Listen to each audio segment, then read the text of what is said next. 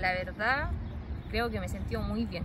Eh, el profe Claudio me ayudó mucho en mi decisión de haberme venido y, y todo lo que me dijo era verdad.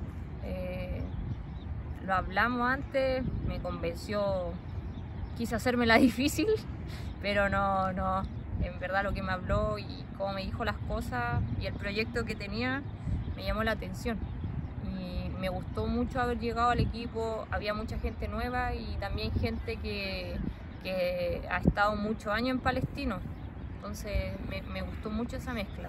Palestino siempre ha estado ahí disputando con los grandes, si, eh, tú lo ves, eh, su presupuesto no era nada comparado con Colo Colo, Chago, ahora actualmente la U, y siempre le hizo partido, les peleó campeonato y a mí eso siempre me llamó la atención y también el club como, como su origen también me llama la atención, siempre me gustó, me tiró, ejemplo, Palestino siempre lo veía y todo, pero nunca pensé que iba a jugar en Palestino, sinceramente.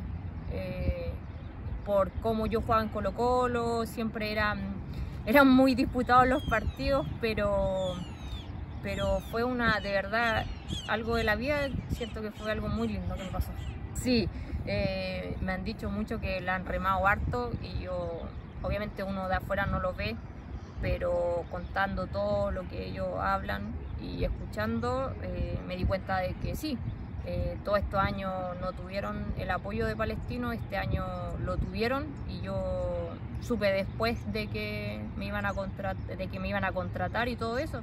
Entonces igual fue como fue una bonita sorpresa eh, también obviamente yo del respeto le dije al profe porque hay jugadoras más antiguas que yo eh, que también se merecían eso.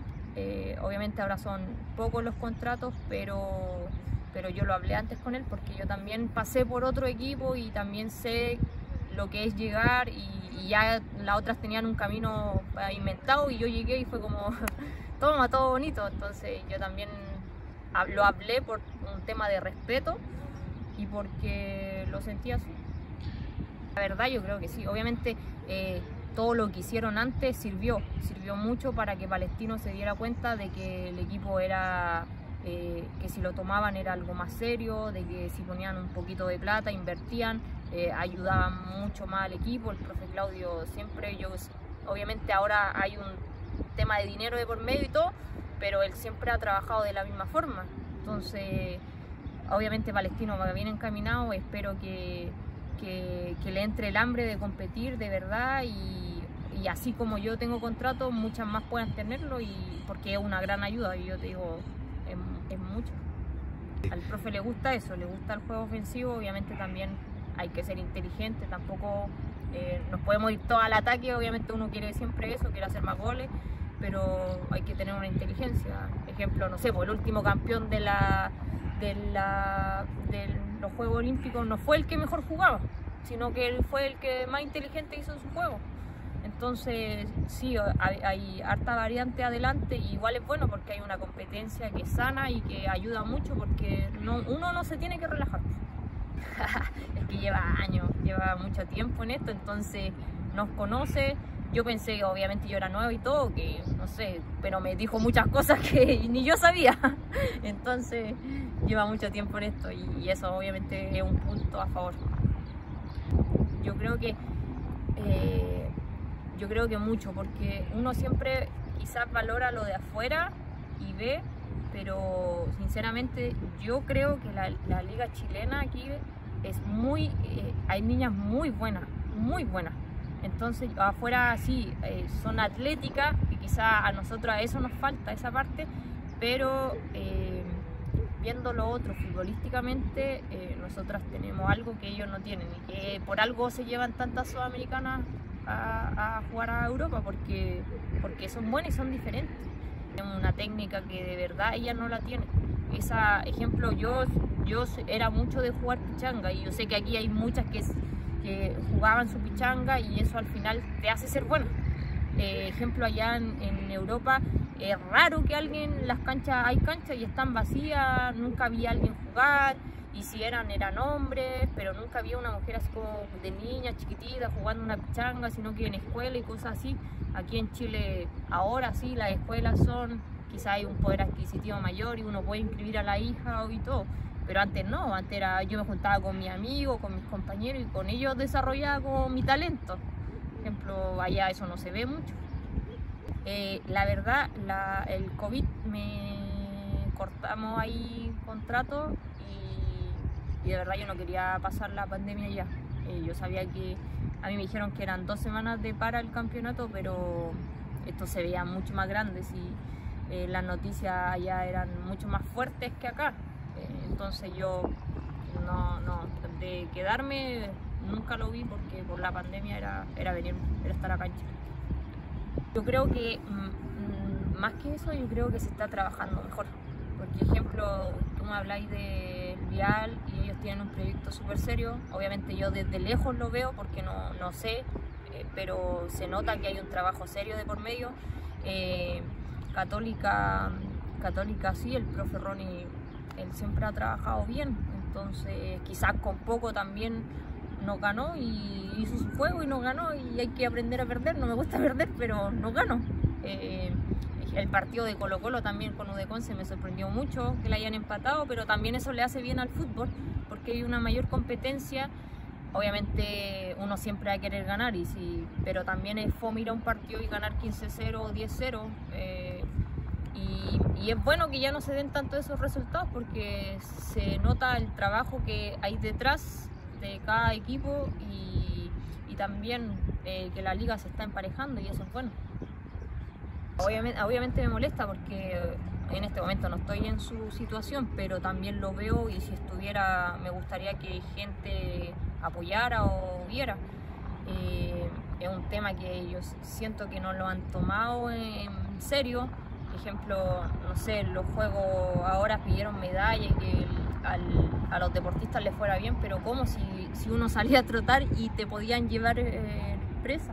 Entonces yo no entiendo cómo eh, después piden resultado o algo, por ejemplo la 17 de la selección está parada, después viene un sudamericano y nos va mal y después esas niñas crecen y nos sigue yendo mal, entonces no, no, yo no entiendo si es cuando ya logran cosas, quieren como subirse al carrito y, ahí es todo bonito, pero no sirve, el, trabajo sirve de antes, de, no cuando ya la gente figura, cuando ya está bien, eh, no me gusta eso, nunca me ha gustado.